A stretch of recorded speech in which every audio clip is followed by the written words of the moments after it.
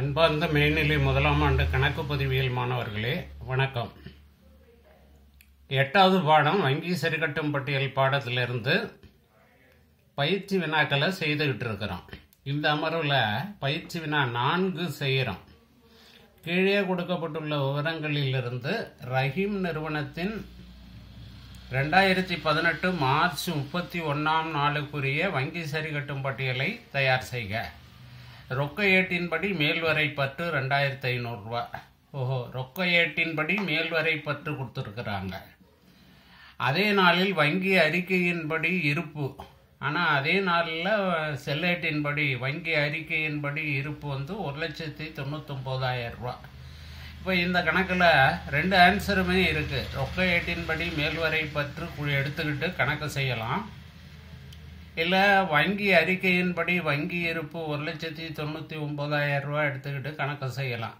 இதை எடுத்துக்கிட்டால் அந்த ஆன்சர் வரும் அதை எடுத்துக்கிட்டால் இந்த ஆன்சர் வரும். நாம் இந்த கணக்கில் வித்தியாசமாக வங்கி மேல்வரை பற்றையே எடுத்துக்குவோம். ரொக்க ஏட்டின்படி வங்கி மேல்வரை பற்று ரெண்டாயிரத்தி ஐநூறுரூவா செல்லேட்டின்படி வங்கி மேல்வரை பற்று என்ன ஆகும் இதுதான் நம்ம கேள்வி. நடவடிக்கைகளை படித்து கேள்வியை கேட்டு வங்கி மேல்வரை பற்று அதிகமாகும்னா கூட்டிக்கணும் குறையும்னா கழிச்சிடணும் வங்கியால் நேரடியாக பெறப்பட்ட கடனீட்டு பத்திரம் மீதான வட்டி எழுநூறுரூவா நிகழ்நேர மொத்த தீர்வகம் ஆர்டிஜிஎஸ் வழியாக வங்கியில் பெறப்பட்ட தொகை ரூபாய் ரெண்டு லட்சம். ரொக்க ஏட்டில் பதியப்படவில்லை.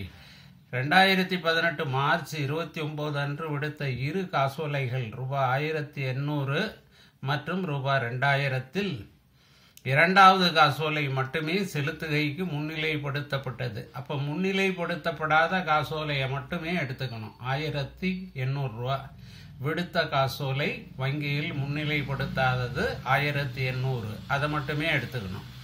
நிலைய அறிவுறுத்தலின்படி வங்கி செலுத்திய சிற்றுந்து மீதான காப்பீட்டு முனையமும் ரூபாய் ஆயிரம் ரொக்க ஏட்டில் பதியப்படவில்லை. இவ்வளோதான் தகவல்கள் நடவடிக்கைகள் இருக்குது இதை வச்சுக்கிட்டு வங்கி மேல்வரை பற்று கொடுத்துருக்கக்கூடிய இந்த கணக்கை செய்வோம். பயிற்சி வினா நாலு. ரஹீம் நிறுவனத்தின் ரெண்டாயிரத்தி பதினெட்டு மார்ச் முப்பத்தி ஒன்றாம் நாளைய வங்கி சரிகட்டும் பட்டியல். விவரம் போட்டாச்சு தொகை போட்டாச்சு இப்போ கணக்கை செய்வோம். ரொக்க ஏட்டின்படி மேல்வரை பற்று. அதை எழுதிடுவோம்.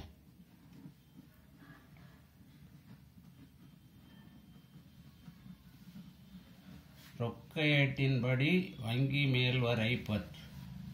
எவ்வளவு? ரெண்டாயிரத்தி ஐநூறுரூவா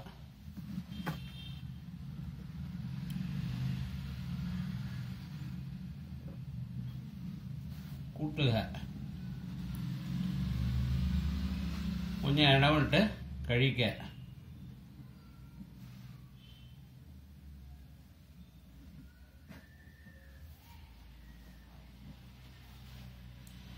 வங்கியால் நேரடியாக பெறப்பட்ட கடனீட்டு பத்திரம் மீதான வட்டி எழுநூறு ரூபா இப்போ நமக்கு வர வேண்டிய வட்டியை வங்கி வாங்கி நம்ம கணக்கில் வர வச்சிருக்கு செல்லேட்டை வர வச்சா செல்லேட்டின் மீதான வங்கி மேல்வரை பற்றுங்கிற கடன் குறையும்.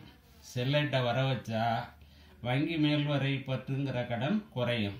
நம்ம கேள்வியும் அதான் செல்லேட்டின்படி வங்கி மேல்வரை பற்று என்ன ஆகும் குறையும். அப்போ கழிக்கல முதல் ஐட்டம் வங்கி வசூலித்த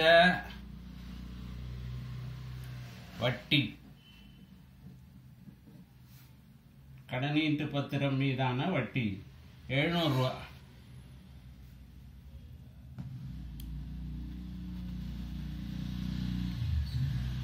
நிகழ்நேர மொத்த தீர்வகம் ஆர்டிஜிஎஸ் வழியாக வங்கியில் பெறப்பட்ட தொகை ரூபாய் ரெண்டு லட்சம் ரொக்க ஏட்டில் பதியப்படவில்லை.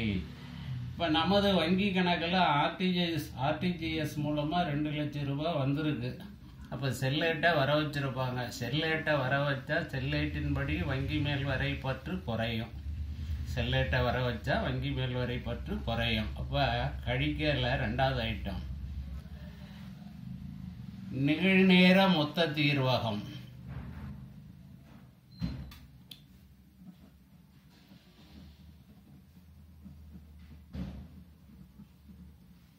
நிகழ்நேர மொத்த தீர்வகம்.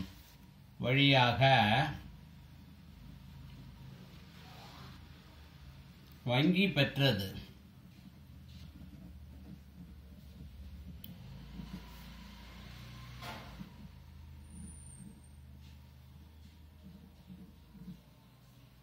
அடுத்து ரெண்டாயிரத்தி பதினெட்டு மார்ச் இருபத்தி ஒன்பது அன்று விடுத்த இரு காசோலைகள். இதில் தான் நம்ம சொல்லிட்டோம் அந்த முன்னிலைப்படுத்தப்படாத காசோலை ஆயிரத்தி எண்ணூறு மட்டும் எடுத்துக்கணும். காசோலை விடுத்தது. ஆனால் வங்கியில் முன்னிலைப்படுத்தாதது. காசோலை விடுத்த உடனே ரொக்க ஏட்டில் வரவு பக்கத்தில் எழுதிடுவோம். ரொக்க ஏட்டை வரவு வச்சா ரொக்க ஏட்டின்படி வங்கி மேல்வரை பற்று கூடும். செல்லேட்டின்படி வங்கி மேல்வரை பற்று குறையும். செல்லேட்டின்படி வங்கி மேல்வரை பற்று குறையும். அப்போ கழிக்கலை விடுத்த காசோலை முன்னிலைப்படுத்தாதது.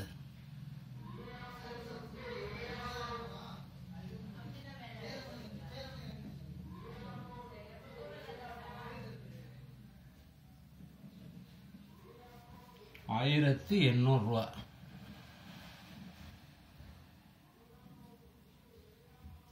நிலைய அறிவுறுத்தலின்படி நிலை அறிவுறுத்தலின்படி வங்கி செலுத்திய சிற்றுந்தி மீதான காப்பீட்டு முனைவும் ஆயிரம் ரூபாய் ரொக்க ஏட்டில் பதியப்படவில்லை. வங்கி நமக்காக காப்பீட்டு கட்டணத்தை கட்டியிருக்கு. அப்போ செல்லேட்டை பற்று வச்சிருப்பாங்க. செல்லேட்டை பற்று வச்சா செல்லேட்டின்படி வங்கி மேல்வரை பற்றுங்கிற கடன் அதிகமாகும். அப்போ கூட்டணும். வங்கி செலுத்திய காப்பீட்டு முனைமம்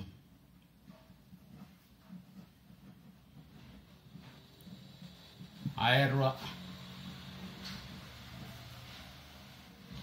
அவ்வளோதான் எல்லா நடவடிக்கையும் பதிவு செய்தாச்சு. இப்போ டோட்டல் போட்டாலாம் மூவாயிரத்தி ஐநூறு. கழிக்காக டோட்டல் போடுறேன். ரெண்டு லட்சத்தி ரெண்டாயிரத்தி ஐநூறு.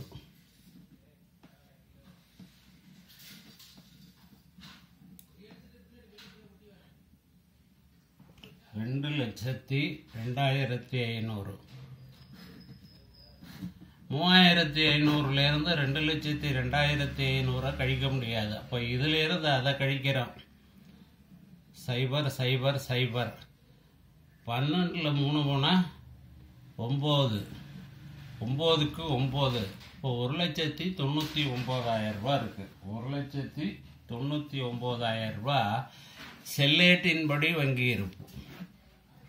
ஒரு லட்சத்தி தொண்ணூற்றி ஒம்பதாயிரம் ரூபா செல்லேட்டின்படி வங்கி இருப்பு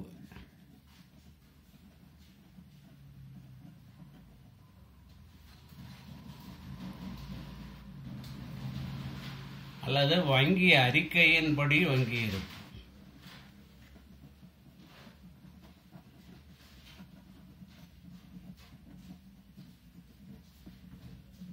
அவ்வளோதான் கணக்கு. 오랜 일들.